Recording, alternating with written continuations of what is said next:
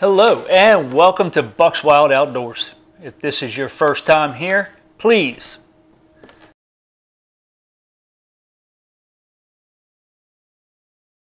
So, guys, thank you for uh, joining this episode. What I'm going to do today is go over the the new SD Fly 2 app for Swell Pro, the Splash Drone 4 specifically. Um, I just got the aircraft back and the remote back from Urban Drone. I had some issues with the remote. This is the third remote for this aircraft. Well, this is the second aircraft that I've had because if you, one of the videos up here, um, the, uh, the aircraft crashed on me. And then once this was replaced, um, I flew it for a couple weeks and then I put it away, sat for about four months. I pulled everything out to get it ready for vacation, which I leave in two weeks to go back to the Outer Banks and uh, the remote didn't work. I plugged it in, it gave me a green light saying it was, on, it was uh, fully charged. I let it sit overnight on charge, got up, remote would not turn on for nothing. So I sent it back to Urban Drone and Urban Drone just replaced the remote and uh, now everything seems to be working very well. Hopefully I didn't just jinx myself, but thank you Urban Drone. You guys have been fantastic. Y'all are awesome. I appreciate it. Thank you. So, without further ado, um, here is the results of the SD Fly 2 app. All right, guys. So, I'm to start with my iPad. Now, my iPad's an iPad 7th gen, um, and the ISO update is a 15.3.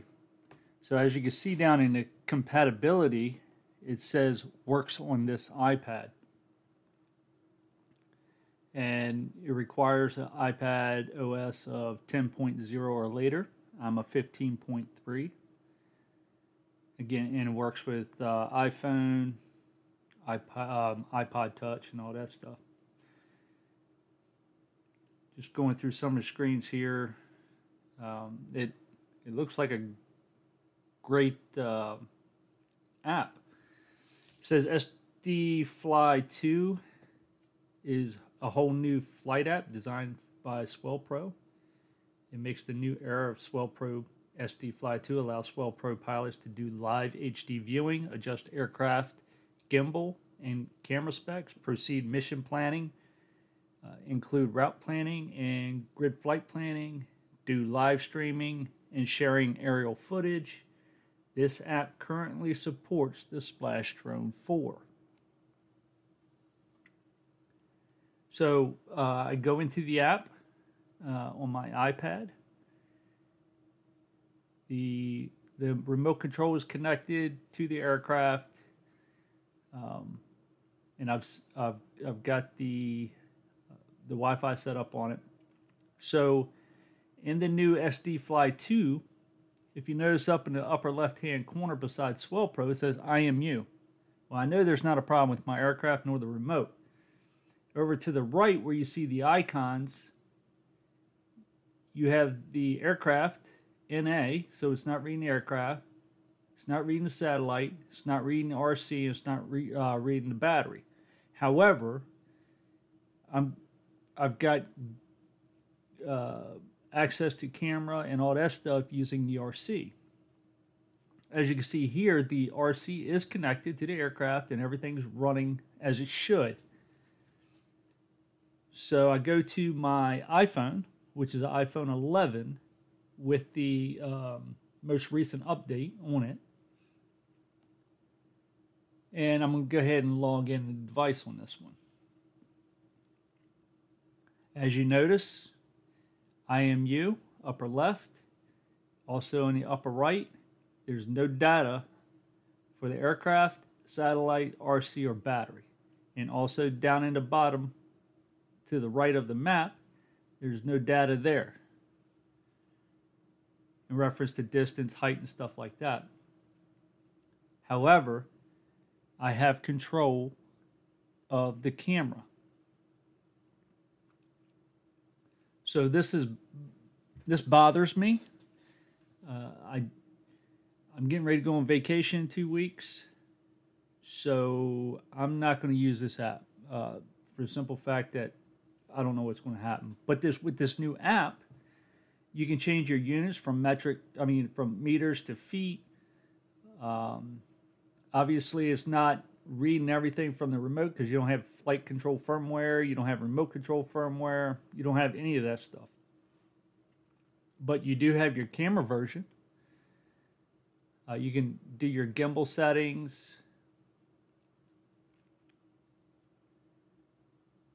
Um, with this, if you have issues with the transmission, you can change the channels. Low battery warnings, you can actually uh, put low battery warnings in there. Uh, return to height, I mean, return to home height. Um, just a lot of different things that the other app does not have like low battery return home, low battery automatic delivery. So if you have a release on your aircraft, it'll automatically release whatever's on there and return to home.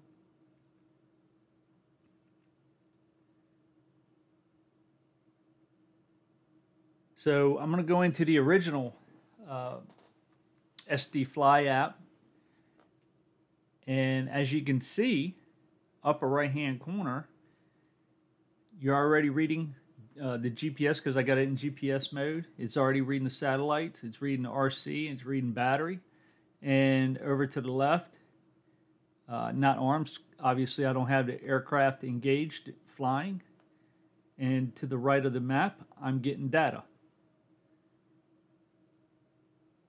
So I don't know what's happening with the new SD Fly 2 app. Uh, I wish that it was working properly. It says that it's compatible with my iPad. It says it's compatible with my iPhone. But I'm not going to use that app because again, I go to I go on vacation in 2 weeks and I don't want something to happen by putting that aircraft up using the new SD Fly 2 app and I lose connection and something happens to my aircraft. I've, I've had enough problems with the aircraft as it is. Matter of fact, I just got it back uh, from Urban Drones for replacing my remote control again. All right, guys. So uh, I, I, I don't know if I'm doing something wrong. I really don't. Um, I know the IMU. I, once the, the aircraft came back um, last week, I've only had it up a couple times, but I've redone the IMU, the gyro, and the um, compass. All that stuff has been calibrated on this aircraft. So I don't know what that SD Fly 2 app is is saying. I don't know why it's not reading the data from the remote. I, I don't know. Um, I've tried to rack my head around it, and I just I can't figure it out.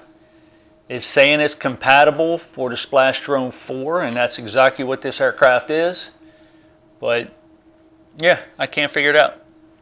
If you know what it is, and if I'm doing something wrong, please don't hesitate. Put it in the comments. I would love to hear from you. Because um, I'm sure somebody out there knows a little bit more than I do. But um, yeah, I, either I'm doing something wrong or there's something wrong with the actual app itself on the, on the Swell Pro side. Some of you guys may be wondering why, all right, so the channel's name is Bucks Wild Outdoors. Uh, it, I hunt, I fish, all that stuff, and um, and you're probably figuring why are you talking about drones? Well, this drone right here, specifically for my purposes, is for drone fishing. Uh, you'll see uh, one of the links up here. When I when I go to Outer Banks I go shark fishing from the shore. I use this drone to fly the bait out. And once I get out to a certain point where I like it I'll drop the bait and shark fish. We caught six last year so it actually has a bait release on it um, there has been some issues with this drone. Uh, I don't know about anybody else. I just know that I have had issues with the drone. Um, when I researched it before I got the drone, I fell in love with it. I was like, oh, I've got to have that. And I bought one. And just seems like each each couple months I'm having something different going on with the aircraft. Something wrong, something wrong. Um, it's got the latest firmware updates. Again, the IMU, the gyro, compass, all that stuff is taken care of. Um, so yeah, um, again, I, I don't know if, if I'm doing something wrong or, or what, but if you know, please leave it in the comments. So again, as I said, I am going away in two weeks to go to Outer Banks, so hopefully I'll have some good footage for you guys uh, when I post the next video. So stay tuned, and I'll see you guys soon.